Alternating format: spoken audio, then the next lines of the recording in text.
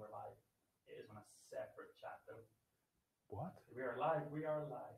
We are. Let's try and encourage everybody across it so you start joining. Are we? Are We're we live? Okay. we are live. Live. We had to, we had to create a new uh, live. The last one just completely crashed out on it. As I said last last time, it was odd because we had we had one that kind of died in the middle of the road and we couldn't get anything else past it. So let's hopefully everyone in the next two minutes, um, everyone should start to join and uh, welcome us on this new feed. I'm so sorry to anybody who's actually already straight across. Um, this mic in. Do I even understand what happened? Not really. Excuses to all Irish and Englishmen. Oh no, we don't need excuses. Uh, okay, so let me send a quick message to everybody.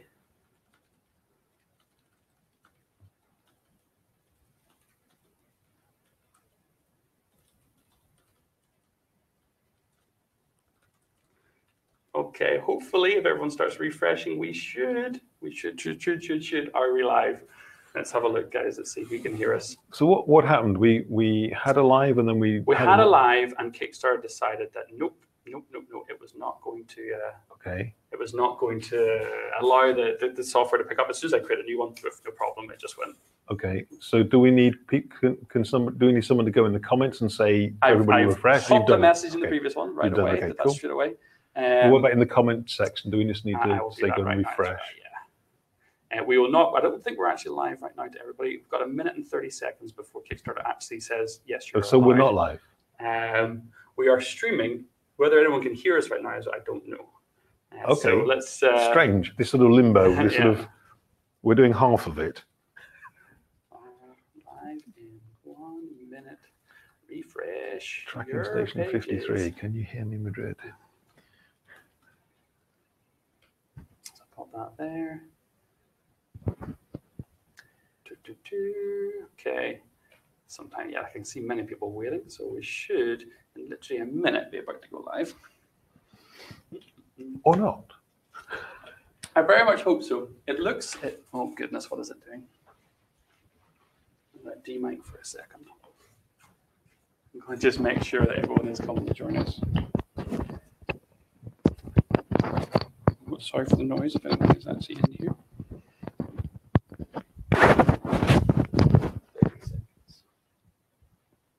I'll be able to see it from this other machine. It has got successfully. Oh, okay. Oh, yes, I see some chat. I see some, oh, yes. Kickstarter, and you're not live into oh, the, all Kickstarter are actually chatting. And Kickstarter put a thing in force. We're not live into the chat. Yes, yes, yes, we've got about 20 seconds. So we're not live until what? Does the countdown get to zero? Yeah, I think we're about to be live in nine. Okay. Thankfully, Kickstarter must have picked up the fact that we had a little uh, error. The Kickstarter support guys were on that immediately. That was That was excellent. Excellent. Thank you, Kickstarter guys. Awesome support. Hello. Oh, look, I'm fiddling with my mic on stream. hello. Kickstarter says we're the most important streamers. Hello, hello, hello. There we That's very go. Nice of them. That was everybody. Say hello to Kickstarter support. Thank you so much. They're epic. Ki- Kickstarter support realized we had an issue. They jumped straight on. They made sure we were okay to go live. Apologize for the 10 minute late. Hello. Oh, okay. Okay. Are we good? Are we decent? I'm not showing any skin. oh, don't know about that. Cameras are working. Cameras are working. Great. Cameras are working. Good, good, good. Who have we got then? Let's say hello. Hello, Jimmy Anderson. Hello, Kickstarter. Thank you for your help getting this going. Uh, hello, Louis. Hello, Bree, June, uh, Colby, Harlot, Dublar, Jamie, Dave, Uber, uh, Guillemet, Roger, Ashley, Daniel. Awesome. So we had like 600 people uh, subscribed to the, the previous stream. So we're going to give it a minute or two to So let this build up. We're up to 200. What happens already to them? those guys are stuck in some kind of like Kickstarter purgatory where you, you back projects all the time. It's the wrong. It's the it's the wrong game. It, that should be for Joan of Arc. Ah. Kickstarter Limbo should be for Joan of Arc. Kickstarter limbo. Still 400 people watching the old stream down rapidly. Okay, hopefully everyone's coming across. Just give Okay. you. I've popped a message in the comments. Kickstarter Okay. have also popped a message in the old stream first. Thank you, Excellent. Kickstarter guys. Um, hello, Mark. Hello, Diego. Uh, hello, Willem. Gabriel. Time for some jokes while waiting for those. Oh, give me some jokes. Yep. You love my bad dad jokes, don't you? You love my awful, awful. Uh, we're on air, aren't we? So yes, are, absolutely. I love them. They're marvelous. Give me some more of those. Um, anyone that needs to look up sarcasm in the dictionary, that that was it. that was it. No dad joke, says Ashley. Turin's not on board. Solo mode Kane is a great joke, says Alchemy. Well, we're going to talk about that today. That was my We're- fault, I'm afraid. Yeah, we're gonna we're gonna talk about that. We I don't think we could have resisted that. It was no. I think it was. It's one of those ones that just has to happen. It's it's Yeah. written in the stars. Yeah. It's got to be the way. Um, one of the first questions. So, I, please, guys, what we're going to do is we're going to go through what's happened with the updates, what we've seen over the past 24 hours, what, what everything has been unlocked. We're going to talk about some of the frequently asked questions. What we want you guys to do, of course, is to pop lots of questions into the. Get my hand up to it. Oh, that's great, right there, into the question and answer section. We will go back and go through all those. Jake and I are then going to have a chat about the solo mode. Probably one of the most interesting and intriguing things, actually, um, that we've kind of looked to put into the game and then we'll come and kind of answer all your questions. So, yes, public service announcement from Alchemy. There is only 48 minutes left to get an early bird. I'm presuming that everybody here has it.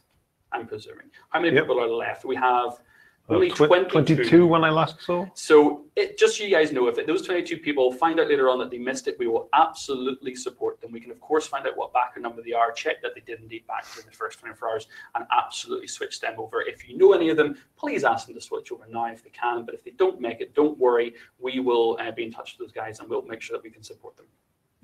Um, carry on the conversation in the official Good Place Discord channel. Wow, the Discord guys have now got proper slogans. That's that's uh, guys.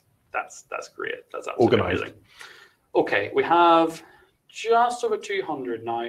okay. Um, I think we'll probably start in a second, get into the questions. I want to get as many people into the chat as we possibly can. Sure, sure. Do you want to talk about that? That's what it's all about. Yeah, yeah, it's about getting people on. I mean, we're, we're here to, we're here to talk to you guys to tell you uh, sort of to, to answer the obvious things that we've come across several times, and to listen to what you know and answer what you've got to ask now, and, and just generally kind of clear up any confusions, answer any questions, because we've got three weeks left and we've got loads of cool, exciting stuff to do, and we don't want anybody starting off with a question. We want to when we go Oh. tomorrow and we start doing the things we aren't allowed to talk about yet Yeah. then we want you know everybody fresh, everybody you know up to speed. Mm.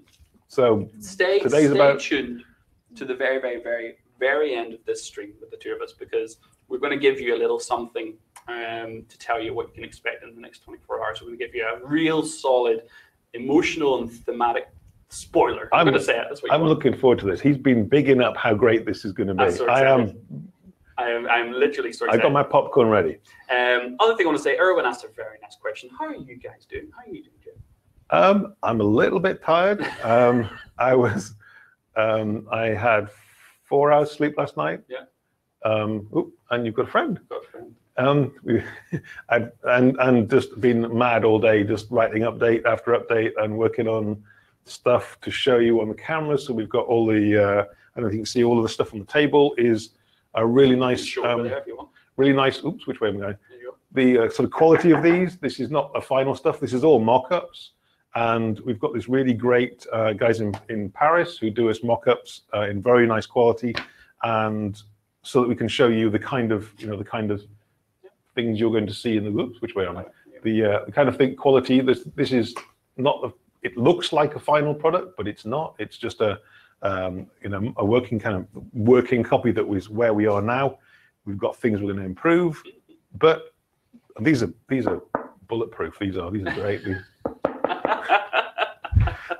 um, okay, I think we've got Anyway, lots so, of people in, which, which working on stuff. Hi, how I am, by the way, I was buzzing last night. Like I left the stream last night, Uh. absolutely wired with happiness. The first, the first four hours were absolutely unbelievable. I think um, I went to bed at sort of like half twelve, and I think it was maybe two o'clock that I got over. I think, 12. yeah, yeah. I think um, Lightweight. I was just, Half I was 12. shaking with like happiness and energy, and just like it was a crazy opening evening or afternoon, depending where you are in the world. Um, so thank you. So one more time before we get into all the kind of frequently asked questions, guys, if you're asking questions to ensure I don't miss them, please pop them in the Q and A section up there, and that way they'll save, and then that way I can come and, um, and answer them directly right at the Yeah. end, so we don't miss anything. So please, please, please do that. Okay. What are, come, what are some of the things we've heard um, most regularly in the first 24 hours? So, how many acts are in the core? How many box? acts are in the core box? Core box has three adventures. Mhm. Uh, that's three stories. The three three based on three different short stories from Robert Howard. Uh, so three adventures. Each adventure is made up of a number of acts. Mhm. In the core box, there's a one one act, a one two act, and one three act for six acts all together. Now, how big is an act? An act is a three or four hour gaming session. It sort of depends on how many people you have, how chatty you all are, and so on. We have a save system, so you can break that down into two or three pieces if you want.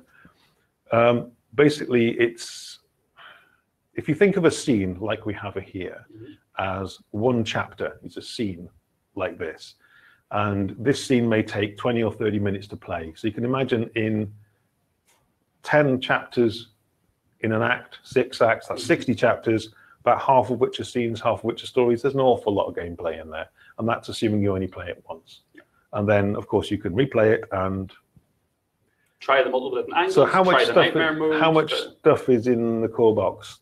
Lots and lots of hours worth of play, many sessions. Yeah, many many dozens if you only literally do it once, but there's no reason you couldn't do each um, act multiple times and increase the difficulty and give yourself a bit of flair and mix around the, the, the virtues so you have a different asymmetrical feeling each time you play. There's there's tons And play it solo and play it when we hopefully get to Yeah. the uh, uh, competitive mode. Play it competitive. Yeah. All of which spin out quite a lot on how you how you work it. Yeah.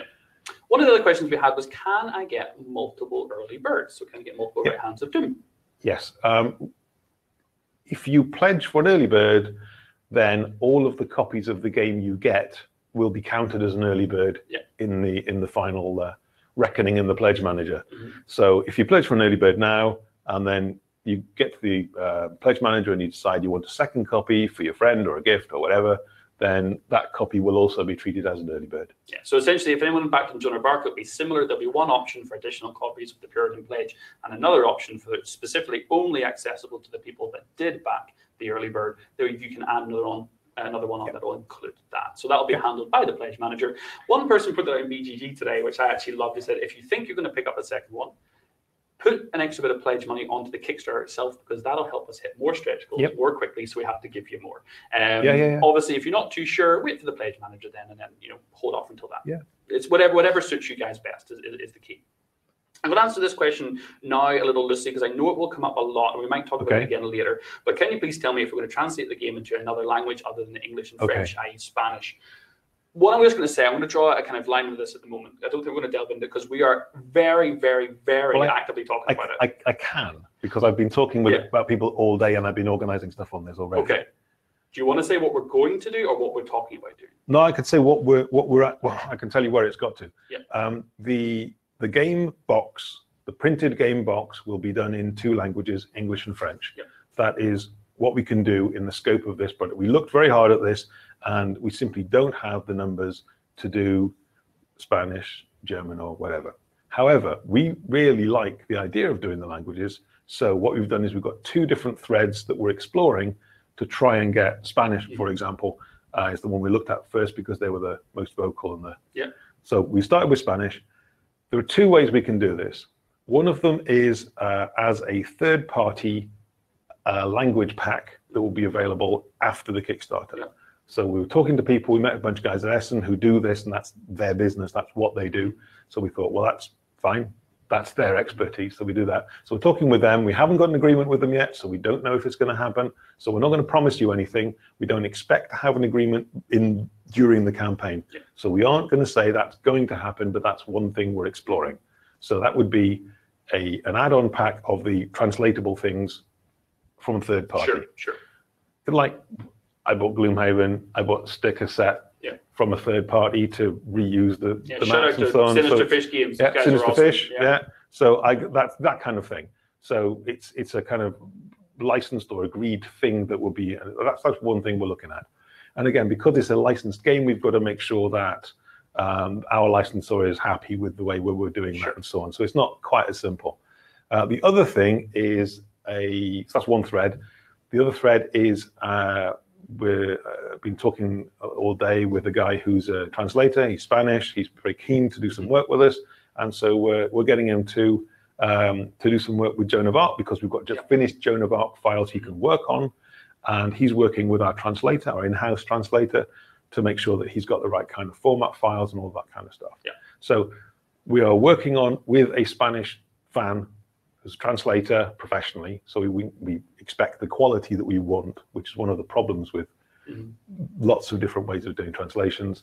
Um, so basically, the answer is yes, we hear you. We want to do this as well, but economically, it's not something we can do in the core box, sorry, in the printed set along with English and French, but we are exploring other routes.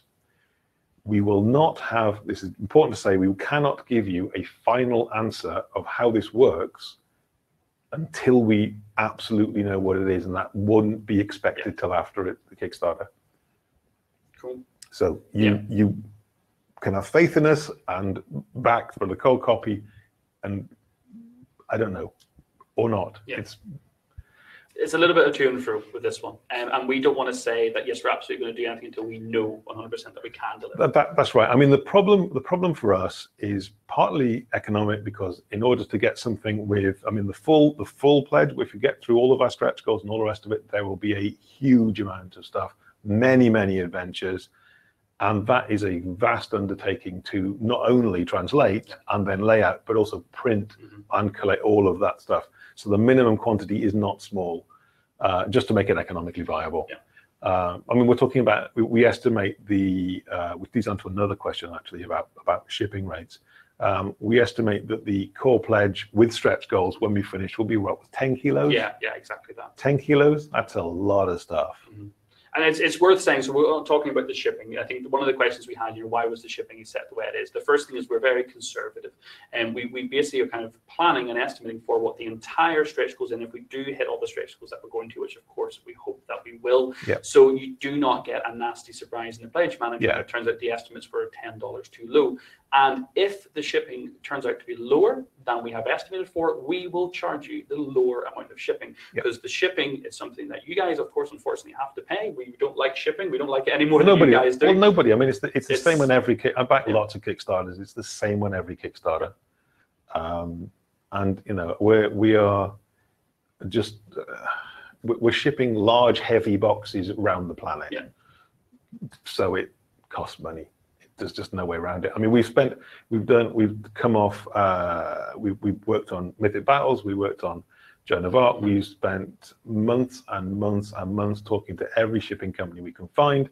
We've had lots of backers uh, for both of those campaigns saying, why don't you try this lot? Why don't you try that lot? And so we've talked to all these people Yeah. and um, we've got the best rates we can find anywhere from anybody. Yeah. And uh, it's still not cheap. But then, as I said, I mean, these are not physically small things and they're not light either. No, no. I just we just had in chat there. Uh, Dublar says his order for Joan of Arc is 65 kilograms, Yeah. and the delivery guy is a former friend of his daughter. That's Karma. Not quite sure what he's alluding to there, but No, but um, that's a lot of stuff for your postman to carry. but yeah, but I mean, 65 kilos, that's not a small box to deliver. No, abs- absolutely not. Um, okay, so we'll kind of skip on. We had another couple of questions. Will there be an all-in? Yes, Yes, yes, there will. It will be, at the moment, I think the, the estimate is $320, but we're not 100% sure about that yet because obviously it depends on where we get to. We've skyrocketed. Like the first, the first twenty hours have been incredible. Um, so we we will release that later on during the campaign.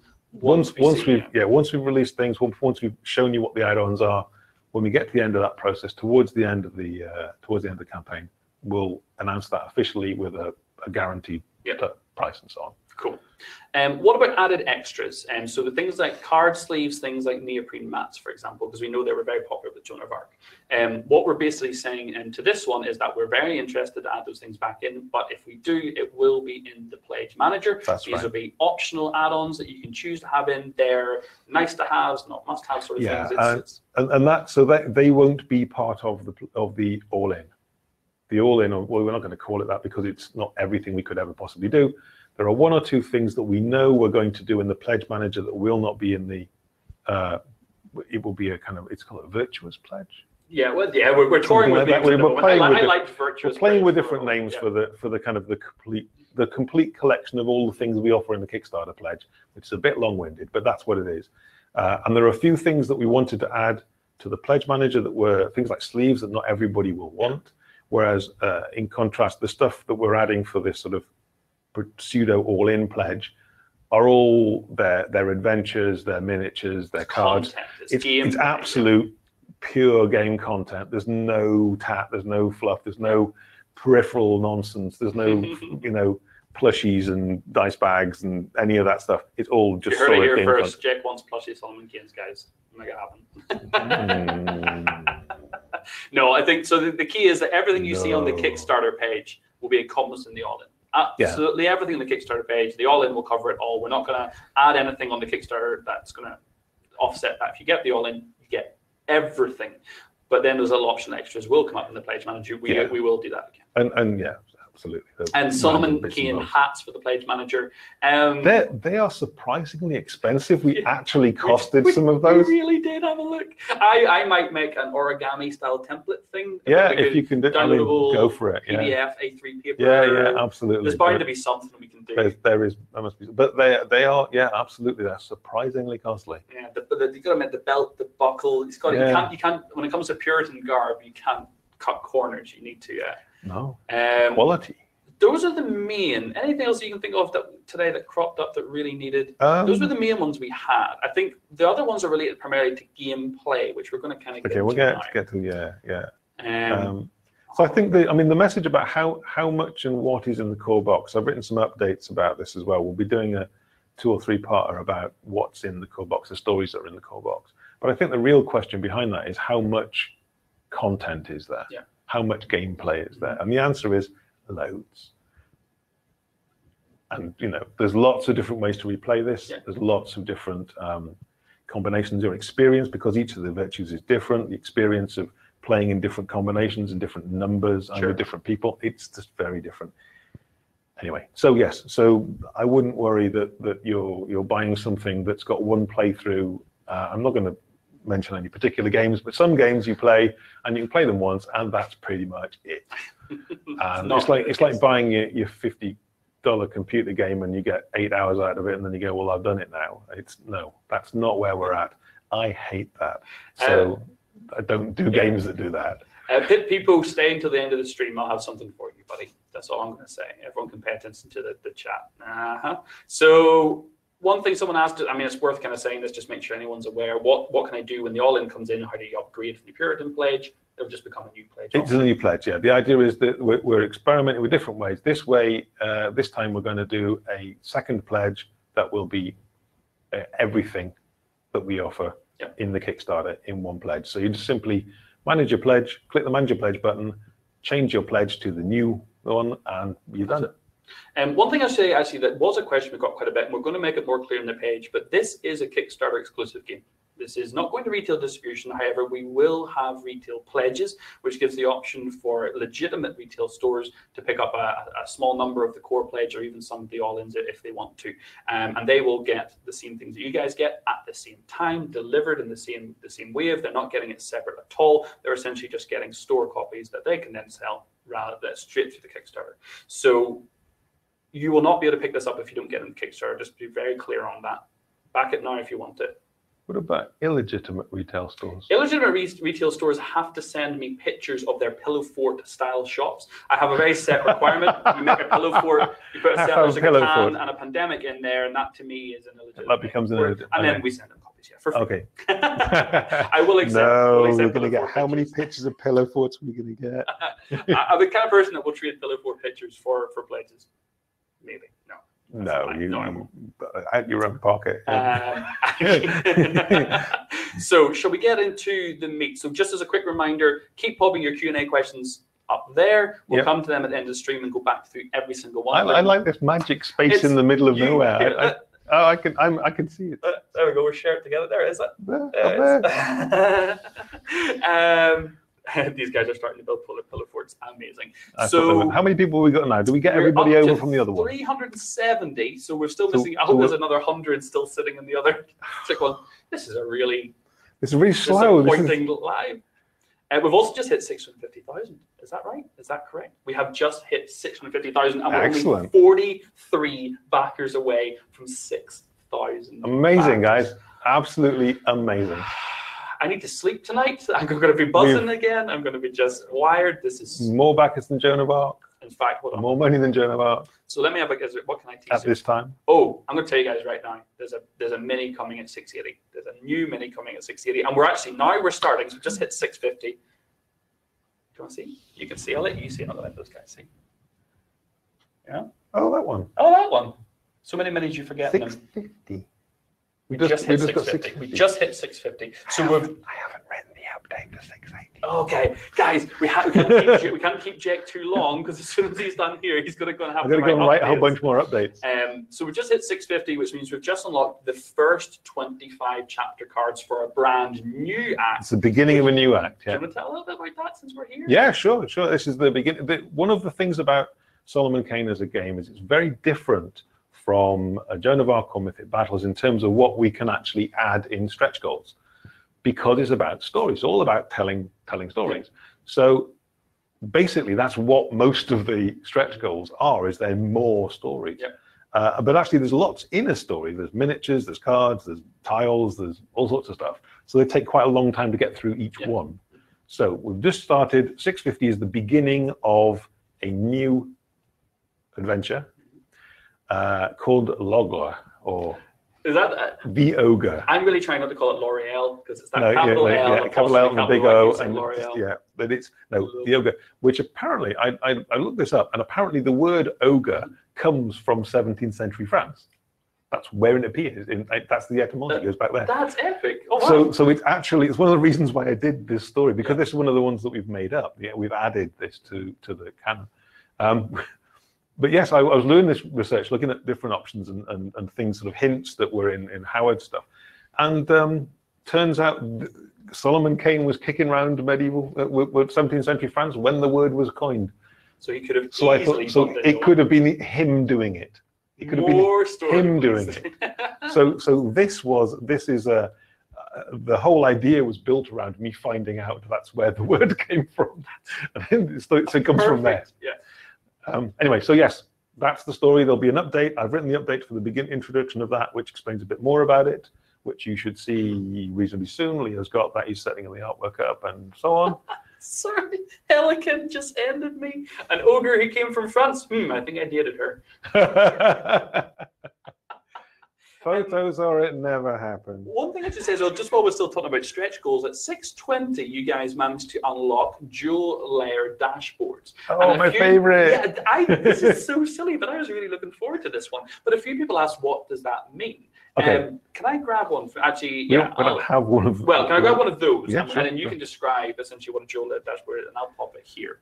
Okay, dual layer dashboards are, are um, deceptively simple. They kind of do what they say on the tin. They are two layers of chunky card instead of one. You can see this is a big, thick piece of card. Dual layer dashboards are two layers of cards glued together. But the, the, the cunning trick is that you cut out holes in the top one so that you end up with recesses. So where you need tracks to put uh, to put tokens or Mhm. cubes or dice or anything like that, they sit neatly in little holes that are made the right size and shape for them. so when you allocate things, if We you're holding on to reserved and nice, they're not going to squiz away on you. That's right. They just sit where you want them, and and there's something really satisfying There about really it. is. Yeah. It is just. I end the the update is basically me saying how much I like them rather than anything else useful about them. Um, it's it's one of those things that I always find really really uh, bizarrely appealing in in a game, and um, it doesn't make the game better in any kind of gameplay sense. It's just nice to have. is just nicer. And will we have dual layer uh, tracker boards? Yes, the- we will have the dual layer. The dual layer stretch goal makes the four virtue dashboards dual layer. So these these slots will be Yep. recessed, and these slots will be recessed, and so on. Um, it makes this, which will I'll drop the tokens. Uh, makes this. You can see it's can show got it that way. show it here. Oops, wrong way again. So so these won't slide around when I do this. They will they will have places to sit, and because we've also made them plastic, and they will be big and chunky and stand up, they will stay where they were, and you can pick them up because they're big and chunky. One of the reasons we made them plastic because uh, because it means that they're we can do the it was making them plastic was because I wanted to make the board dual layer, and if I made them dual layer and they were tokens, you wouldn't be able to pick them up pretty easily. So, lick- so, licking the so it was my it was my excuse, but I had to make it dual layer So I had to find a way of making, making these work. Behind Anyway. the curtain of why we So yes, these will be dual layers where so you'll get five five dual layer big boards Yeah. in the core box, except you guys are all getting stretch goals. So the uh, Providence board will also be dual layer, and any other boards that we might accidentally unlock in the future of the stretch goals in this Kickstarter will also be dual layer. Um, we have already seen the plastic track tokens. They were one of the first stretch goals unlocked. Although I will say about some Yep. of those plastic tokens you've seen, not all of them are final. Um, we will um, be kind of adapting and improving those. Yeah, we I think we can But we wanted to give. we can do better. better. I better not making too much noise. Sorry, better. Getting Um, excited. yeah, a lot of so a lot of po- a lot of positive uh, response to the layer boards. And yes, I and to be honest, for us, they are they are very nice. The cost is really not a factor. These are something that I think we all, They- having played the game are- for a while, yeah, they- to they- add. are kind of costly, but I don't care. So And and hey, Wad forty four. Ben won't let me do it. So Thank, thank you so much for backing and welcome. You're in a very good place, sir. Um, and You thank are. you. Um, I will say that we did talk extensively about the Spanish version just sort of five minutes ago. If yes. you want to watch the replay, that's there. But long story short, is we are exploring options. We're absolutely looking to see what we can do. We have a couple Sure. of things currently in the works. Triple layer, quad layer boards. These kids, these mad, crazy kids, crazy kids. crazy kids. Um, okay, let's get into the meat of this. Solo mode was one of the first huge things with the Providence Solo mode. that we unlocked. And when Lee was on camera, he can show you shiny stuff in the Paris office, talk about the art and story. But we're here with the gameplay, the game designer. We want to talk about what that's going to feel like to play and how that's going to change the game from the normal one to four players when you put Providence on the table. Well, the first thing, the first thing to know is there are actually two solo modes in Solomon Kane. Um, there are, there are, and they're quite distinct. When I first was working on this, I worked out how to play the four-player version, and when I first started doing it, that was kind of it didn't really work at three. Had to pretty much had to be four. Yeah. And so I thought, well, I want to play this solo as well, and solo is very useful for playtesting because I'm always there when they need me. so I worked out a way of playing it with with uh, solo where I played Providence. Now, one of the things when I play solo games, I quite like playing solo games when if the, if the game is about playing, as this is, playing a character, and then I'm playing with other people, each one of them playing one character. I'm never very fond when when the solo mode says, "Oh, you have to play two or three. Yeah. because I want to play. I want the same experience that everybody else has that you have when you're playing them with three or four players. I am Sure. one. Yeah. I, I am the temperance, or I am the cleric, or I am whatever it is. I'm one thing. So I thought, well, let's let's make that how you play this solo. So I did uh, Providence, who is a kind of bigger, badder version of the the virtue. She's a she's a uber virtue in a way, because she whereas each of the normal four cardinal virtues is very focused on one thing that they do best. They can do a little bit of other things, but they mainly do one, which is why you, you need to work together so much. And that's part of the, the whole process of designing this is to, as a co-op was to make make you need the other players. So you have to deal with them. You need to, and you want to be saying, well, I'm going to give you this stuff so that you can do this so that I can then do that. And the sequencing and all of that. Anyway, so you that is how the game normally works, but with Providence on her own, she can't rely on other people to do things for her. She has to be much more self-sufficient. So that's the kind of real difference is that instead of playing as a sort of cooperative or collaborative game with other people where you know everybody's strengths uh, are balancing the weaknesses of the other players and you've got to try and organize between you to have certain things available Yeah. at certain times and not to make sure that you well we all go well we've all got really good fighting stuff now but we need to have a conversation with this guy. Maybe we should have organized that better between us so that you had a bit of this and you had a bit of that and i've got something else. And so we kind of cover all the bases temperance has to cover all the bases on her own so she has a, a different way of dealing with and she's much more flexible in how she goes through her deck so she has a different hand management system that allows her to bin things she doesn't want and cycle through yeah. so providence Providence. Um, uh, Providence has a system where she can she can bin things much more easily and go through her deck much more quickly. So she's more flexible in organizing the things she has, She's more self-reliant. She's not much more self-reliant and much more able to uh, adapt quickly. Yeah. Because she can't rely on other people to cover bases for her that she she's not good at. So it's a different kind of experience again because you you are it is a solo experience. You are designed to be operating with just her. Um, having designed that, having worked that out and grown quite fond of the way she worked, I then worked out how to do a solo mode with the four normal car- kernel virtues As well. as well. and so because and that's basically the same rules you apply for playing one, two, or three players with the four-player game. Yeah. You you play all the virtues are involved, but you play, let's say the solo, you play one virtue mainly, but the other cards for the other ones, their resources are available. It's like they're hanging around in the background. Yeah, let's really expand on that actually, because if Okay. you don't mind, No, no, no, no, sure. Because we've had a lot of questions about how the game plays with two players or Sure. three players, and we were very happy with how it was playing with less. Everything worked just fine, but we wanted to add a little bit of flavour to if there was a virtue Well, not well, there. That's right. So, so I mean, it does actually work if you simply just ignore one of the virtues and play three virtues. It does actually work already like that. But it's kind of more fun if you imagine that the one that's missing is sort of hanging around in the background, just off screen. And so you get what the way you represent that is you take their deck and you just lay it out. They're not there. You just lay out their deck. I can and- do. I can do this over here. And well, I mean, we I think oh, people get. I think people get the idea. it, yeah. People get the idea. You lay out their deck, and then everybody else. So the dashboard isn't there, but their deck of cards with the actions, the, the virtue cards, are available, and everybody else treats these cards as an extension of their own. So in terms of uh, you, you normally you have uh, a card on each side of your dashboard, meaning they are active cards. They're available to use. If you've got a missing virtue, all of their cards are also active cards you're available to use. The difference and the interesting part comes that they're available to use for everybody, but each one of them is only one use per act. So across eight to ten Across eight to ten chapters, you to- only have each one of them once. Yeah. So when somebody uses it, and it may not be you, Mhm. it's gone. And then maybe you Yeah. wanted that later, but you've got to.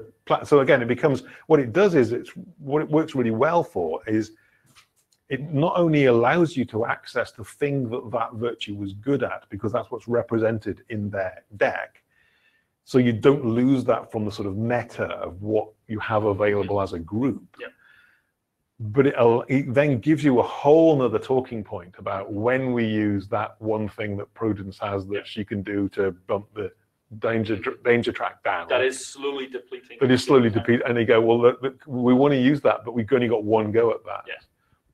It also gives you an interesting conversation about which ones you take in the first place, because having access to uh uh, all of somebody's card deck at once all the time is better in some ways Yeah.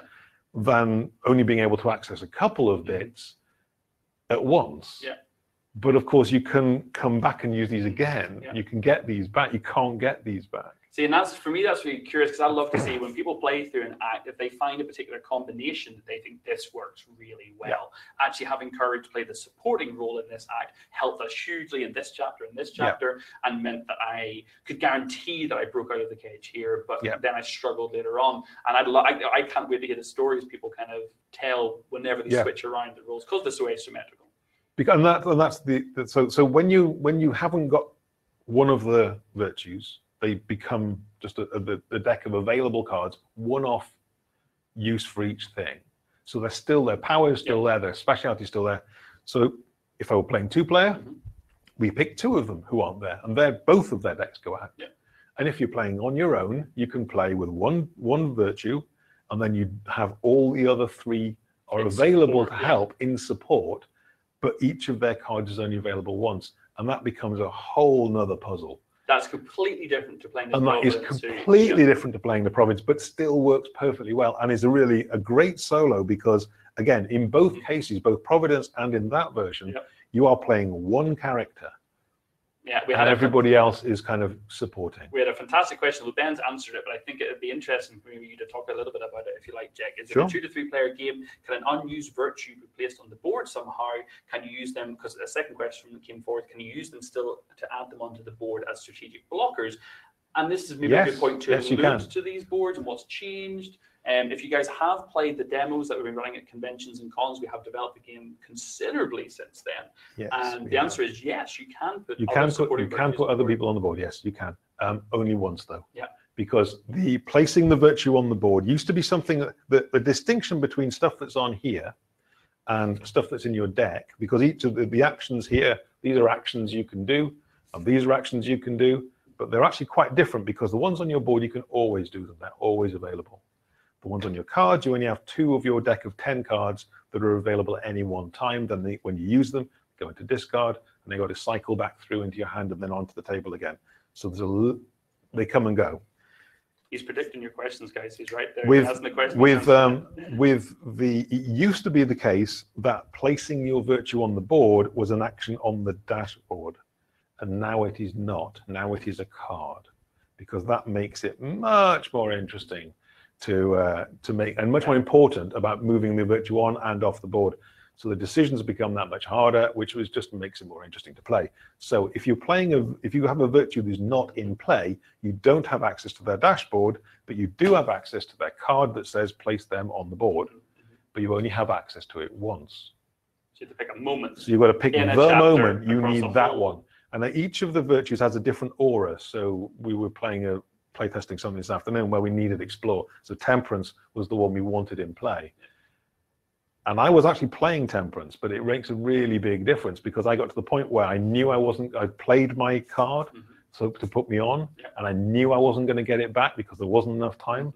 So, but at the same time, I was kind of being threatened with shadows, and I had to work out whether Yeah. to whether to sacrifice temperance to stop the shadows or are, we up. okay to talk about that? yeah, yeah, sure. Well, actually, the, well, yeah, there is. it. So, because anyone who's watched Beast of War or watched the Tricked Out video or done a demo, there was two very kind of distinct ways of playing that I kind of found when I was demoing the game with people. Some would just go straight at it; they would try and solve the problem immediately. They would run straight to the objective and just try and handle it like that.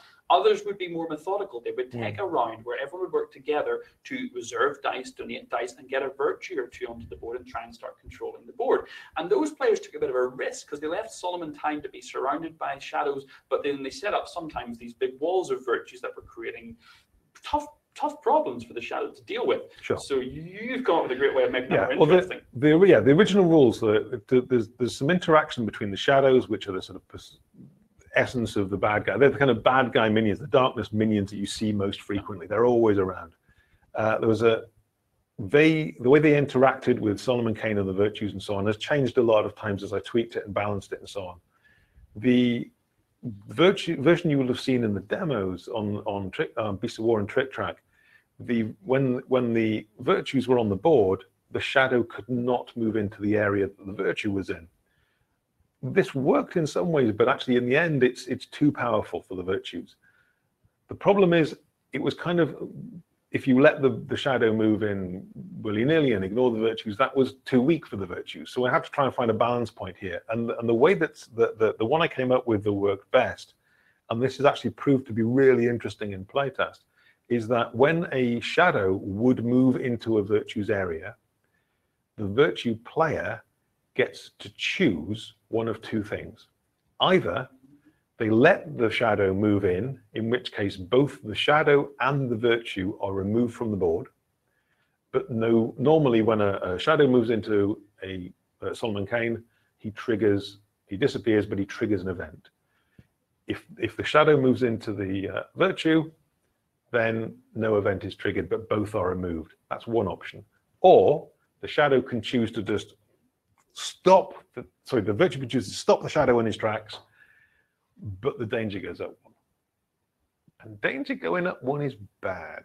But maybe the positional thing is important, as it sometimes is. Mhm. And we've been finding a kind of 50-50 split about who whether you let them go or not. So I was playing this game with temperance on the table. Mhm. It was this, this thing was mostly about exploring. Temperance's aura is plus two, plus two to explore, which is really useful. And I was on the on the board, and I was kind of, and I'd accidentally cornered a shadow that I was probably going to end up moving. Yeah. And the first time this happened, I just went, no, no, I will take the take the, the Keep thing- where I keep- want to hold I, I need to be on because I can't put temperance back because I've not got the time to get my card out of the deck and then get it back in my hand and then get it on the table and then because Yeah. so I can't get the Aura back if she comes off the table. Mhm. And I ended up, we were we were at danger eight. Oh, oh, that is dangerous. You're at danger That's, that's, that's, that is that's bad. And we that's were like- four shadows worth of. We had we had two we had two two darkness cards left. We were at danger eight, and I was thinking, I'm not sure we can actually do this if aura isn't there. Yeah. But I really don't want to bump it onto danger, nine. because if you get off to if you run off the track or if you run off any of these tracks you lose. So if if solomon kane's strength or clarity or compassion goes to zero then he's just out of it. He's, he's either unconscious or he goes crazy or whatever. So he's out. If danger goes above 10 then it's got so dangerous you've Yeah. just been overrun chance. it's, it's just no chance.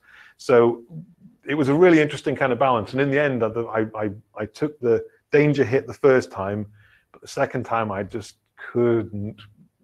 I just wasn't feeling safe so because means darkness cards can add danger. So you with nine danger, you're too close to comfort for the end. so the, the tweaks you've made mean now you're going to have to really try and plan a little bit about when you're going to need your virtue. That's You're- right. Yeah, you're, yeah. You're going to need to also choose when you manifest them. And then you can also choose when when you need to sacrifice them, either by getting them to move in and, Yeah. aggressively attack a shadow and take them out, or by blocking until the point that you cannot risk the danger going up anymore, and finally your virtue just has to give in. And and that's it's all about adding not complicated rules but decision points. Yeah. And this again is very simple. Uh, but it just means and changing the uh, changing the place the place the uh, virtue on the board to a card Mhm. Suddenly means that it's not a trivial thing because what was happening was people were just going, oh, I'll, I'll just stick the virtue on the board because I've got a couple of dice. Yeah. I'll, I'll just put the virtue on the board. And it became kind of moving on and off was was was nothing. It didn't really matter. You just do it when you could, Sure. because why not? And putting it in the card deck suddenly makes it a big issue because it's a, a th- when do I do it? Yeah. I'm not gonna, you know. And then when you in when you're threatened with coming off, that again coupled the two together. When do I come off? When? Oh well, yeah. But what? And then you've got another interesting conversation between the players about How risk? what, can you be, can you can you take that risk? Do you want to do that, or can you cover me with this? And can Yeah. you can we do that? Can you take this and I'll I'll come off, but you can come you, on need, there. you need to move You in need there. to- Do you have the you dice to devote to? Somebody, yeah. And do you have the card? Do you have the action available? Oh, no, I spent it already, and I got knocked off by that other shadow, and Yeah. and so on. Anyway, so lots of little tweaks, lots of little tweaks about, and- it's all just about adding extra interesting points of decision, uh, adding replayability, telling a better story, telling a more interesting story. Love it. Love it. Expect, guys, we have, as I said, we have about half a dozen different videos planned where we're going to specifically play games and, and different scenarios as we expand through the world. And we're going to show you guys more and more gameplay. We're also going to do more of these interviews and chats about how the things are changing. So expect to see it develop. We are not going to shy away from things that we want to improve. We're going to embrace them. We hope you guys will as well as we go through. Um, and yes, thank you. Or Erwin saying it's very interesting to hear you talk about this stuff. So Good. Thank you for Thank you. sharing, Jake. Um, shall we do some questions and answers? Let's do some questions and answers. Okay, let's go through. So I'll try and go from bottom to top here. I think this is most recent, but I'll get through all that are currently listed. Um, does your deck ever refresh for free in an act? For example, in chapter 10. The virtue last- deck. Yes. The virtue deck does. When the virtue deck runs out, then it reshuffles. Okay, so if you're willing to go through every So if you're willing to single go through card- every single card, then you will get to the end and it will reshuffle. You don't have to ever pay for it. But paying for it to shuffling your discard back into your deck only costs one dice. it's much cheaper now. Well, one, Yeah. well, it's 50% cheaper. Yeah, I mean, so what I, I've changed the price because it wasn't the restructure of the ter- of the hands Yeah. meant that it wasn't as good. Yeah. And and so you know you will get your cards back anyway if you Mhm. want to wait. So two is just too expensive. Yeah, okay. Um, Solomon Kane, will it be a challenging game, Shark asks, or will it be more like a casual game? The, int- the the intention is the intention is to make it reasonably difficult because I think that's where most people seem to find looking at reviews, talking to other gamers, playing games myself. I think most people find they want to play something that's quite It's got challenging. to challenge it. Yeah, It's absolutely. got to be difficult, not impossible, but difficult. I think at the moment, at the moment we're running it slightly too easy. Mhm. But there's lots of balancing yet to be done, so that's not an issue. There's lots of ways to balance it as well, so that's not not a problem. But at the moment we're slightly too easy. I want to make it a bit more challenging. Uh, the idea of the nightmare deck is to allow you guys to ramp up that difficulty yourself and to choose how hard you want it to be. And also, not only just say, um, and this is something I've not seen much, is that rather than just most most of the time when you want difficulty, you choose at the beginning and then that's it. You, you're stuck with however hard Sure. you set it. Um, with with the nightmare cards, the idea is that on a per chapter basis, you choose how many you want to eat. Wow.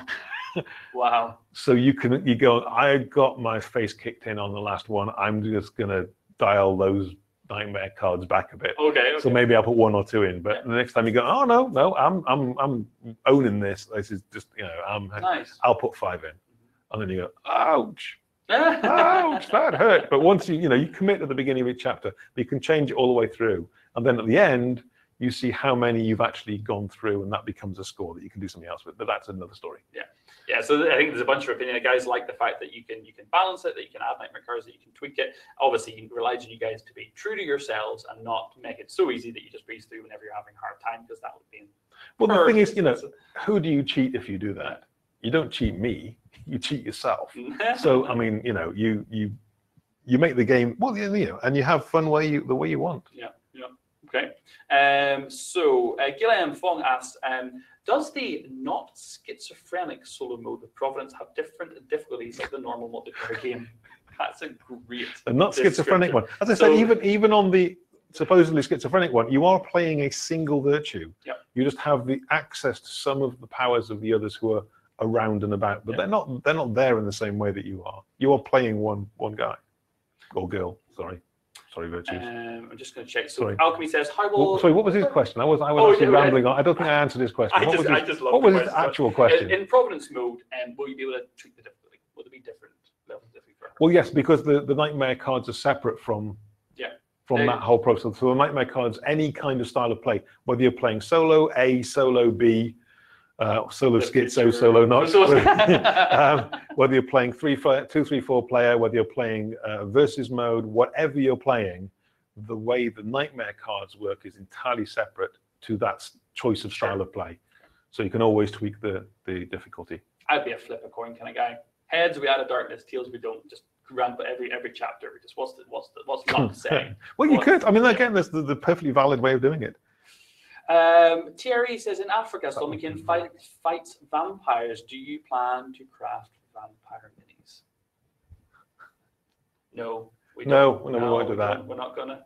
Who would who would want vampire minis? We're not gonna do that. Of course, we're gonna do that. Of course we're gonna do that. Vampires. Oh, it's gonna be good.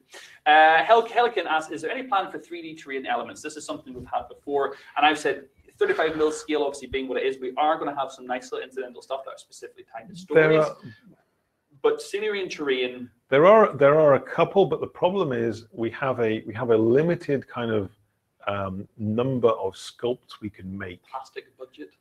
It's a kind of well, it's a kind of sculpting time budget as Yeah. much as anything else.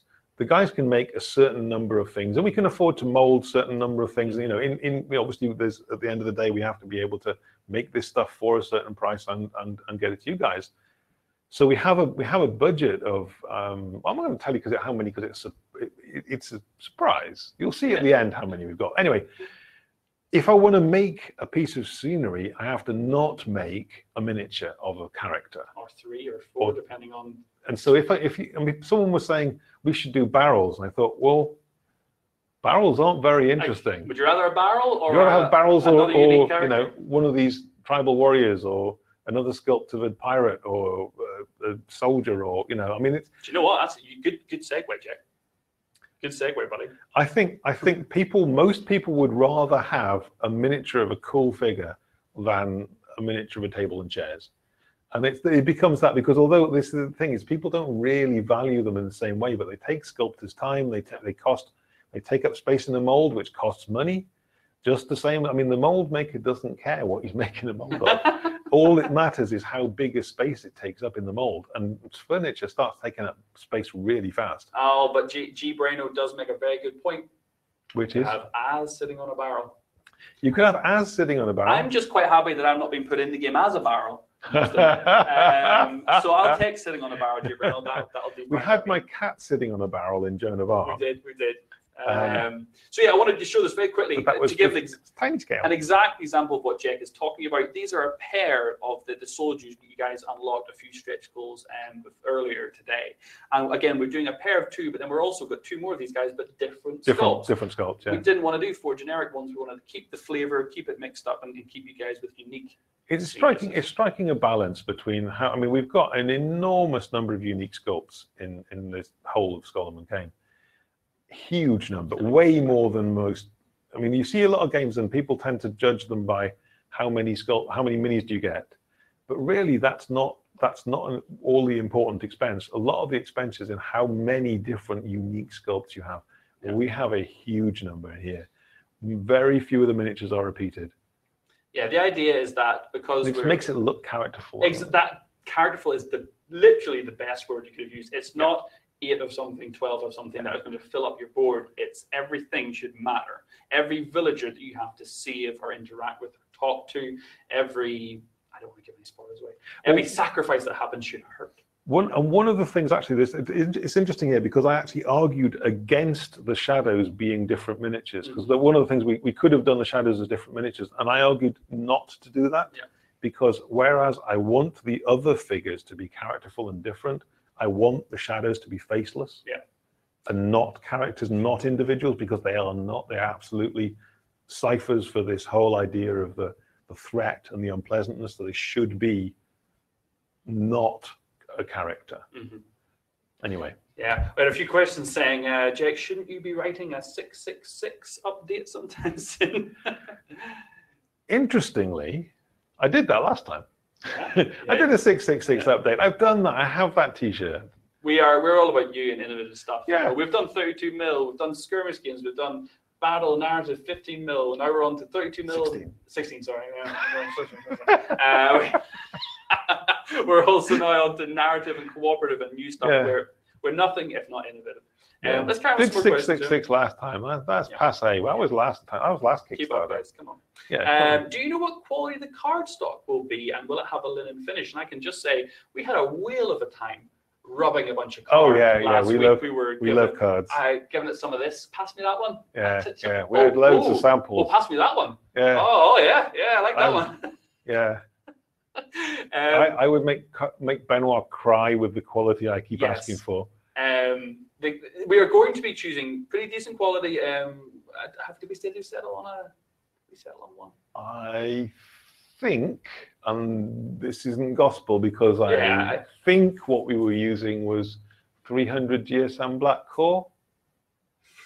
I think Thing. because we were looking at that and then we Yeah. found that 3 300 GSM Black Core cost a certain amount. 300 GSM German Black Core cost twice the It's price. German Black Core, man. Obviously, the German stuff is pretty high quality, but I couldn't tell the difference.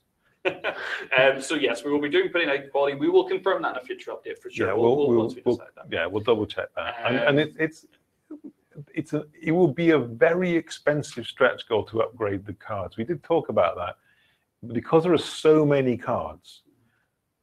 Bumping them to a, a significant, I mean, so so you can tell because we've been, as, as I said, we've been fondling cards for days. Fondle factor. Um, so that it's only worth spending the extra money if you can actually tell when you've got them in your hand.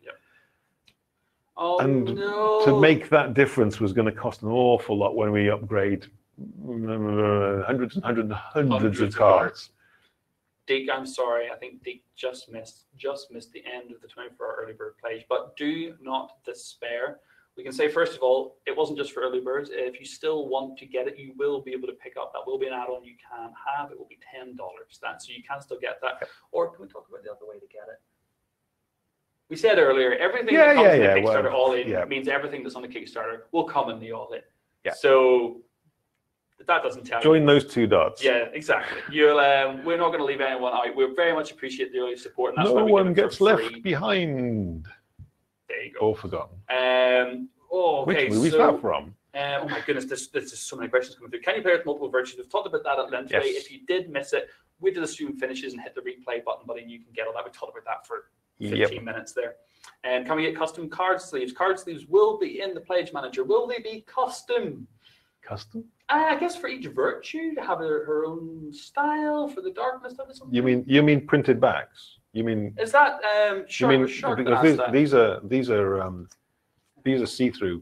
They've got two cards in, but these are Yeah. these are see-through. What you I'm thinking what you what I'm guessing is you mean with a printed back. printed back. That would be a custom card sleeve to me. That yeah. that that would be a yeah. um, Well, I I'm not seen anyone cost it, no, so I don't know. because because we're going to do the the cards gorgeous to begin with. It, it's a shame to cover them, and because the because the printing quality on sleeves and the printing quality on card, Yeah, the printing quality on card wins every single time. So if you've got clear sleeves, you get to see the printing, and I think that's probably the way we'll go. Especially because not many people would buy them at the cost they would have to be Yeah. charged for, because you're going to buy a lot of them. Um, who You won't sleeve I, I hope I hope you understand me. Please forgive me. If anybody um, in the chat is, is French speaking primarily, or anybody and knows of somebody who kind of unfortunately can't watch because we're in English, we're going to have a huge amount of lives um, from Leo in France, and we'll absolutely get Leo to do some lives where he actually is completely in French, or he does um, some in both, and answers questions in both. um, unfortunately, although Ben can read Greek, I can order a beer in Spanish, and I can muddle by in German Muddle by in sometimes on a good day. unfortunately, yeah, we, we, we can't do it from here, but we will absolutely do that over the course of the campaign. What I will say is the Kickstarter page itself is in English on Kickstarter, but there is a mirror in French on www.mythicgames.net. Also, every single update we do on Kickstarter will be mirrored in French on, On the Mythic. Games website. Um, We're, we're me, catching um, up for the moment. Once we've yeah. caught up, then we'll we'll be able to, to do it pretty quickly. We have we now have an in-house translator who's here full time, who works with us full time, and we actually have three other people mhm, Who can all who can all do who all do translation work for us. So we've got way more resources than we had last time with Joan of Arc, and we're on it. Yeah, any of the French ambassadors, if you wouldn't mind typing that into chat, if you let them know about the website and the, the fact that everything will be mirrored there, that would be great. And we will have some French live streams. Please do not think that we don't love you guys as much as we always do. We highly recognize our French community. It means the world to us. I just, just want to don't want to embarrass myself by trying to speak French, but maybe someday, maybe someday. Um, so let me quickly go through some more questions. There's so question, so many questions. Go on, I think read them out. Don't I tell me the think- lots. I think Just we've answered those. I think we've answered those. Any chance to have human-sized posters of Solomon? Like them. Um, we talked uh, on the stream last night about potentially doing some wallpapers, some mobile phone backgrounds, and some social media um, wallpapers and such for Twitter, Instagram, Facebook. Um, I asked people to go to the comments and let us know that you're interested in that. I don't think there's been a huge response. Maybe maybe full size Solomon Kanes would be a difference. I'm not sure. I, I don't think that's something we're probably. I, I, I very much doubt it. They're, they're actually rather, I mean, this is promotional stuff and stuff we use at, at shows and so on, Yeah. and they are really pricey. Um, and we don't buy lots ourselves, No. much as they are lovely. um, I'm going to keep going through a couple. I'm going to skip a couple of questions here that we've kind of darted around. Mhm. Um, how many virtues have you got on pocket for stretch goals? Um, Eric, you're just going to have to stay, buddy. You're just going to have to follow the campaign. We're not. That's there's, there's big miniatures to come. Big minis to come. Um, what was the big mini that Leo teased and you told him not to spoil, but he never did? I can't remember which one he did, but I will tease a big mini at the end of this stream. Um, Alex, Can't stop them. I keep Um, trying to. I keep trying to say we've got to save some goodies up for later. No, as and Leo, bad as each other. Uh, Alex said, I paid $300 for shipping for the Time of Legends, Joan of Arc, all in play. Should I expect the him for Solomon Kane? So I'm not sure where you are, Alex. Depends on where you are. yeah, if you pop your question into the comments, um, we can try and answer you there on the actual Kickstarter page. And if Ben's in chat, he can maybe have a, have a quick talk to you. Um, but it depends on where you are. What I can say, though, is the all-in uh, for Solomon Kane will be at least 10 kilograms less. Yeah, the all in what for the all-in Solomon for Kane Joan of will be smaller. Yeah, it will be smaller and lighter and therefore cost So, less. yeah. Um, Other things being equal. Uh. This is, I'm not sure of this word, you're more intelligent than me, you have to read this. Ali Batar said there will be elements of scenography, Scenography. It's a. It's a he's French. or will miniatures be just characters love your work? He's, he's asking. He's asking about whether we'll have uh, 3D scenery and stuff. Ah, Um, and uh, We- well, we we, answered we, that we answered that already. In, in- if you, yeah, Short Um, answer is no, not many. There will be one or two, but not many. Yeah, and Alchemy asks, how we upgrade to the Virtuous Pledge work for those with the early uh, bird pledges? It will be fine. It will be fine. It will you be will not fine. lose out on anything. Fret not. You will get all the goodies. Um, what material are the miniatures made from? Says Mr. E52S. They are made from a combination of two materials because we found this cunning plan where the different different materials have different pros and cons. Uh, most of the miniatures, most of the miniatures you get on Kickstarter games tend to be made out of PVC in some variation. The PVC comes in a lot of different flavors, uh, for want of a better word. Um, don't eat PVC, No, by don't. way. P- Um, PVA though. No, good, don't good. eat PVA either. Yeah. Um, anyway, so PVC is is um, it's it's good for a number of reasons. One of them is it holds detail very nicely. Uh, it's it allows you to make big chunky things like this um, in a relatively small number of pieces because it, you can do Or undercuts like and- or like that or like that. Anyway, you have that one. Um, but it allows you to do slightly more undercuts than something like hard plastic, which is ABS. Um, so it's got some advantages, and of course, if you're doing something big, if you can do undercuts, you can get a nicer mini in less pieces, which makes it. Everybody likes things in less pieces because it means you don't have mold lines and so on. Anyway, so we're making the, the bulk of them will be in PVC. However, PVC isn't very good. Much as it's good for bulky things and holding detail of robes and stuff like that, it's not much good for staffs and arrows and spears and swords and stuff like that because it bends when it gets thin. You, I'm sure you'll have seen miniatures and Kickstarters full of, uh, you know, they look great on the renders, and then when you get them, they look like they're holding a, a big stick of limp spaghetti. So, Big stick of limp spaghetti. I love to read Robert E. Howard writing that line, and Solomon drew his big lip spaghetti sword, his rapier, and just whipped it around. Anyway, sorry. you can write all my color text. that would be terrible.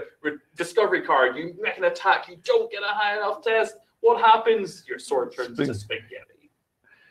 So, to Sorry. avoid that problem, we are going to use two materials PVC for the uh, bulk of the miniatures, and then ABS, which is hard plastic, like you get in like Airfix model kits for spears and swords and that kind of detail piece, which means that we will get spears that are come straight when you get them and they will stay straight. Swords that stay straight, staffs that are straight, details like that, which survive the experience of being molded, sent across the world to your door, and then played with. It's more expensive, obviously, but it's more fiddly for to make. But by the time you get them, because all these miniatures will be pre-assembled, when you get them, you get a lovely miniature, and the details are what they should be. Gorgeous piece. Swords are straight, details there. Are minimum number of pieces we can get away with. This is the best combination we've found yet for mass production of stuff. You can do it if you want a tiny number of high quality things to paint. You could do a different kind of resin. That's fine, but it costs loads more, and you can't make the quantity. We would take ten years to fulfill the game because we couldn't make them fast enough. Absolutely. It's one of the other advantages of PVC is you can make quantity quickly. I'm just going to tell you, and you can decide what you want to do with this information. But we're currently getting quick questions faster than we're answering them. You can decide what you want to do with that. Keep well, ask me questions. Don't tell me we we're getting them too fast. And the most important question asked of the night: Will there still be included a sandwich in the all-in pledge? Um, I'm not allowed to answer that question anymore. I am. Uh, I'm afraid the word is removed from my from my vocabulary. Um, will there be soundtracks, music for each of the era or chapters? Says Snafu, great name by the way. Um, Yeah. This is something we did do for Joan of Arc. Possibly the way it happened with Joan of Arc was a little bit odd, mm, um, and I'm not sure we will we will get that situation again. Uh, I've not heard of anything at the moment Yeah. that would would do, but it's I mean it's not a thing we we don't want to do specifically. It's just something we've not got around to. The the project originally was kind of smaller than it ended up. mhm. and in the process of making it all much bigger than it was originally we've kind of run out of time to do fancy little tweaks. But you never know. You never know. It depends on uh, depends on what we we probably do all sorts of interesting people in this business, um, and they have all sorts of amazing skills that they just sort of say, well, we could do this. And we go, oh, that's interesting. We have we have reached six thousand forty one backers by the way, and we're just about to hit six hundred sixty thousand. Amazing! Thank you so much, guys. This is fantastic. Um, Ashley um, is very unhappy that you're not giving him a sandwich. I'll not say what it. Not, I didn't say I wasn't going to give you a sandwich. I just said I wasn't allowed to talk about sandwiches. Um, I kind of want to read this question backwards from Benjamin uh, because it's, it's um, Solomon Bikini, Solomon Werewolf, Solomon Cyber. Uh, are there plans to release alternate sculpts of Solomon Kane? Cyber Solomon, Werewolf Solomon, Bikini Solomon. Shall we tell them the Solomon that we had written on the board months ago when we were first talking back in our old office? We had a few different potential Solomons that we were like, we could add some fun in. I don't remember any of those. There was a there was a Solomon who was probably like World War II related that we had thought about bringing in at one point. Uh, Cyber Solomon, I think we also chatted about at one point, just because it's kind of got that kaiju kind of mecha fantasy thing, doesn't it really? Will there be alternate sculpts to Solomon? No. Yes, but it won't be any of them. No. I'm sorry. We are we are staying very true to the license, even though we're doing some this of our own is, yeah, stuff. I mean, we are... yeah. The the Solomon Kane is a licensed game, which means we need to follow the stories, the yeah. license that we're using, uh, and and they they approve all of the stuff we do to make sure that we are staying true to the original idea. Now we we can we have the uh, the the agreement that we can make up some new things within the context, within the canon, and so on. With the, sorry, within the, the the framework that we have, as long as we stay true to the spirit of the of the whole thing, which is what we've been trying to do. So a, a robot Solomon Kane is not going to happen because that's not anywhere near being in the in the sort of right yeah. vein for the original thing. Of course, if we'd been doing it ourselves, we would love to. We would have five, but um, sadly, we are restricted. I'm going to blame the license. So that's very mean of me. No, we wouldn't do it anyway. We, we love we love Solomon Kane in the 16th century. We do. Being crazy, yeah, being yeah. crazy. Um, Vajra said, you mentioned N'Longa is not part of the core box. Will he be a no. stretch goal or part of an expansion or what? N'Longa is um, he, he we, we've we've picked three three stories, three adventures for the core box, and N'Longa isn't in any of those. He will turn up in the story where he should be. He will turn up in the right story. We have done. If we get everything through everything, we will cover nearly all of the stories that, that Howard wrote, and we've also added some more. The reasons we haven't, the ones we haven't done, are either we couldn't work out how to make them as a story on the board that would, would be exciting. Or uh, one of them was would have required a completely new set of miniatures all for itself yeah. because it was so different from anything else. Um, and was also a fragment, which was problem with a lot of these stories are, are not complete. Uh, I think about something like a third of the stories we have are, are only partially done. Yeah.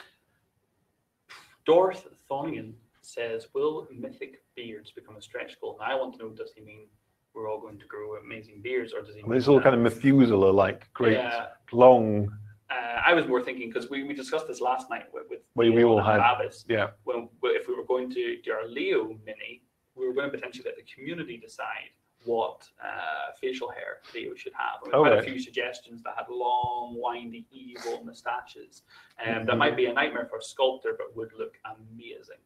Have you seen the, the moustache on Lacoste? Do we have Lacoste there? We haven't shown Lacoste yet, I don't think.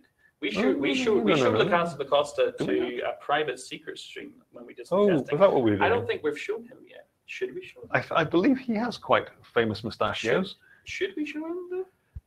I don't know. I don't think people want to see him right now. People don't want to see him. Okay, well, we'll, we'll just, Nah, we'll they just assume no. they, they, don't, No. they don't want to do it. The first three said no. Okay, fair enough. That's fine. In Okay, fact- next question. I'm actually gonna I'm gonna zoom this in a little because he, next he's question. got such amazing facial Next hair. question. Uh, They don't want to see They him. don't want to see him. They don't want to see They him. don't want to see him. That's fine. That's Sorry, right. guys. Uh, everyone said no. Um, I think, to be honest with you, that is most of every other question. There's a couple of questions. You said there were we've so already. many, you couldn't possibly There is a couple, it. we've already answered them. So if you Ah, have any more questions, guys, get them in the Q and A now because we're going to look to wrap this up soon. I'm gonna let me get. I'm gonna go and write updates. Let me bring him in for a second. I'm gonna. I'm gonna do some focusing here, just off camera, super, super, super professional style here. Super professional. Because this is all just because I really want you guys to be able to see Lacosta's facial hair. What a weird statement. You know, you've been alive so long on the planet, you think you've heard every combination of the English language, and then you say something like that. Hmm. Okay, so do you want to tell us who's Lacosta? Who's Lacosta? Lacosta is. You have to know who Le Loup is really to know who Lacosta Uh-huh. is. Uh, one of the if you if you know the stories, then probably the most famous of the opponents that Solomon Kane ever faces is a French bandit called Le Loup, and Solomon chases him across Europe to get his. Uh, he's actually the chap you see in the trailer. That's what's going on. The the young girl who's being uh, assaulted and abused and eventually killed by Le Loup The is wolf. the wolf, um, which is why the wolves are there. Um, he he uh, Solomon Kane finds this girl and then goes on this great crusade to track down Le Loup and punish him for being an evil scumbag Mhm. basically. Anyway, so Lacosta is one of Le Loup's henchmen. So he's like a mini boss, as it were. He's he's um one of he's, he's a bad guy through and through, and his moustache proves it. If if evil twirling moustaches were a were a measure of your your badness, then then I think he'd. Uh, Or a measure of your badness. I think that's we all know that, right? We all know that well. There's a- Throwing there's knife a- versus pistol. There's a great word in in one of the stories that Howard wrote, which is uh, is describing Solomon Kane because Howard kind of makes words up when he when he needs them. Mhm. he's describing. Uh, I was thinking of ba- badder and baddest. Yeah. Solomon Kane is described as being dangerouser than a wolf. Dangerous, sir. What a great word. I rather like dangerous. Uh, Um, from the second for the second night in a row, by the way, we did have a question around Agnes de Chastillon, another character that Robert E. Howard wrote about. If we're writing uh, new stories, so the column, people actually say any chance we could include her. It's now with the game designer, so your request has been heard. okay, We- We're doing a lot of new stuff. we are doing a lot of new, new stuff. I mean, I don't think we've got anything with her in at the moment. Yeah. So it kind of depends on where we get to in stretch goals, because we have to prep this stuff in advance. Yeah. Cool. I think that's us. We've run out of questions. Well, yeah, pretty much. We've just hit 500 as well. Where are we? We're on 600 and just have 660,000 plays so far. Thank you so much, guys. 6,041 backers, 500 people in the chat. So for anyone that's come in late, if you want to, once the, the live stream's finished, you can replay it. We went through a bunch of frequently asked questions that have come up in the first 24 hours. Yep. We answered as many of those as we could. We then talked about the Providence mode, uh, the solo mode that you guys unlocked, alongside how you can play the game solo or with two or three players, and having the added support of other virtues and how that has changed and how we've developed those rules since even the videos we did with Beast of War and Tric Trac and uh, cons. We'll be playing this on Friday night at 7 p.m. PST. Oh, sorry, BST. Sorry, um, or 8 p.m. CST. I think that's 2 p.m. EDT. I think. I think. I think. Something like that. Um, so we'll be live showing you guys some new gameplay with using some of the lovely minis, minis that we have here with a new um, setting that we'll be diving into and putting Solomon into a completely different kind of thing than going and saving a traveler. He's going to be in some hot water. So yeah, one of the things about what we've uh, some of the criticism I saw was about it's it's the same every time, and it's the same every time because what we've shown you is the same thing every time. um, and so what we've done for we've we've been working on four or five, five or I can't several different um, scenes for videos. We aren't going to play a whole one because that's going to take a long time, and people's attention spans are not as big as we like them to be. Much more fun to play than it is to watch games, I find. So we've done what we've done is we've taken little slices of different stories, and we've picked deliberately. We've picked radically different things. So He's searching. he's so fighting. He's, he's- in trouble. He's, he's, he's going to yeah i mean and and they're they're all different aspects of what solomon kane does in his adventures and so it tells you the kind of different range of things that he can get up to Mhm. and it shows you that the puzzles are all quite different and that the different virtue strengths and weaknesses all balance each other out in the end so if you're playing a, a game and if you if you just see one chapter you might think oh well temperance is rubbish because they're really good at, at exploring and stuff, and that and that didn't come up. And you go, well, yeah, it didn't come up in that chapter, but that chapter is only one part of the act, and in the other parts of the act, they were absolutely central to how it worked. So that kind of varying and changing in importance and potency in the game as it goes along. You can sit there and you'll be really the key piece for one moment, and then next time, next moment, you're not really you know you're busy supporting the other guys because they're important to do if that. If you wouldn't mind, because you're actually leading right into a question that came up that I would like to answer before we leave, because it's something that came up in Board Game Geek, and it's something that I think is a really interesting discussion, and it's Mhm. around how we are handling alpha gamers taking over the game. Because really, that's a social question as much as it is a Hmm. game design question. I must remember my first time I played Pandemic, I had a very negative experience with it because I had quite a, an alpha power gamer with loads of experience who basically boiled it down to a numbers game and took all the theme out of it and, and didn't really give us much opportunity. So I'm personally very aware of how an alpha game can remove all the, the fun from a game at times. But with Solomon Kane, you are forced to collaborate. You have to work together. It's it's interesting. I mean, I think at the end of the day, if you have someone who's really, really, really alpha, and Yeah. there's there's no way to avoid them. I don't know any mechanic that you can put in that will actually And we wouldn't want guarantee to to, stop them. You don't want to And I think, yeah, I mean, it, it's playing the way it's yeah. play. I mean, it's it's it's kind of a weird situation where it's like saying, I mean, it's like analysis paralysis or any of the other kind of things that that can be problematic when you're playing. That's really about your social group, your gaming group. There's nothing much we can mitigate that with because you're you're stopping people playing the way they want to play. Except you which did mention, which is what led into, it, is that you'll have different times where the virtues will shine, and the Yeah. alpha, Well, alpha that, gamer that is will not always be the one that shines. yeah. I mean, that is that is the uh, that is one of the things I've done. I mean, I found actually the the, the games I've I've been uh, watching the demos with with like, outside our kind of playtest immediate playtest group. We found actually less alpha gaming in this than most games Yeah. I've played that have been co-op. Absolutely agree. and and that seems to be what we're getting reported from the ambassadors and so on. And it's I think it's it's not something I've deliberately engineered out, but I think has been a side effect of the way in which I've engineered in the cooperation. Yeah. And I think that that, that by by the, the style of design I've used to put the cooperation in and the fact that everybody has been, I mean, the feedback we've been having is that it's really cooperative as opposed to the other games. I mean, I don't, it's hard to know exactly what people mean because we don't know what they've played. But several times feedback from the ambassadors has been, here's the, the ambassadors go out and they demo stuff and then they often send us reports back with, these are the things people told us. So you get to see the patterns after a while when we have, how many things have we been, how many? Over 60, and We've each one's had multiple demos, That's so right. So- the so- hundreds of demos. So, so we're getting these things back and people are saying certain things. And one of the things we've had time and time again uh, is that it's really cooperative. People say it's really cooperative, like the other games they've played have only been kind of pretending to be cooperative.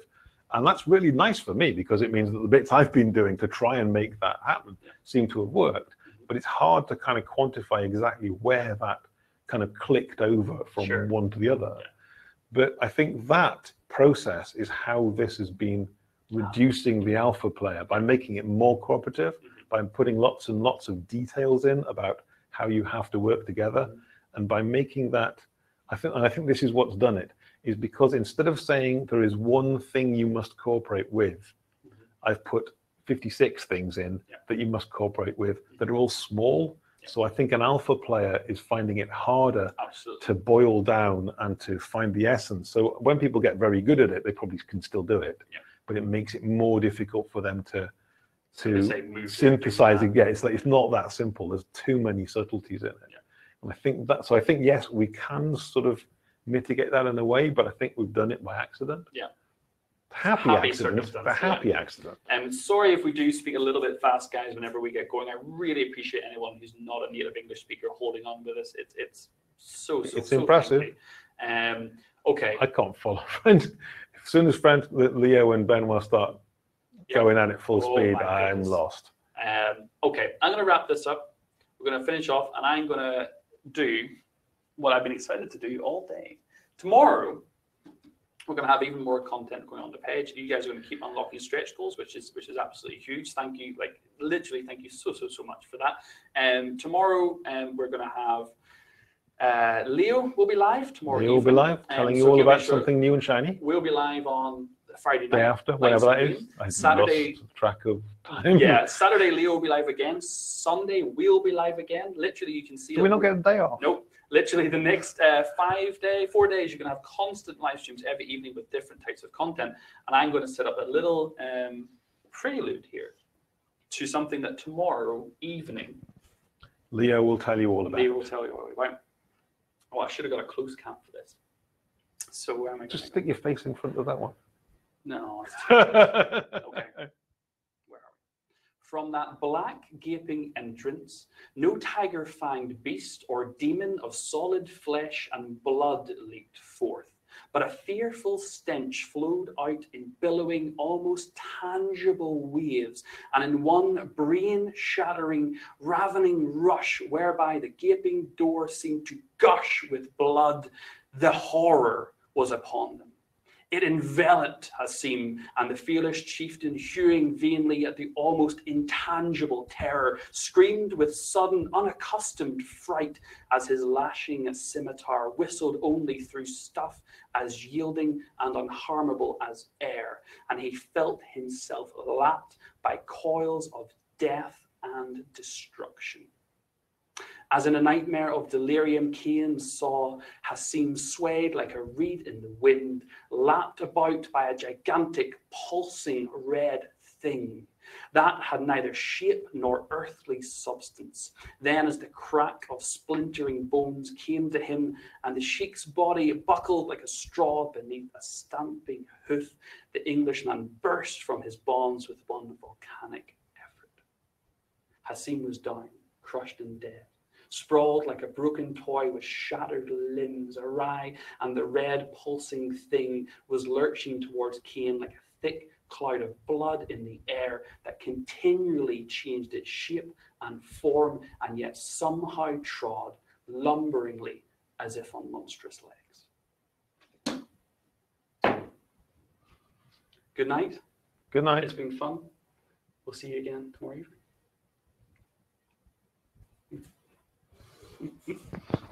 I'm going to have to sneak off now, all subtly turn off the stream. You guys can look at me as I just do this now. Ruin the mood that I just set.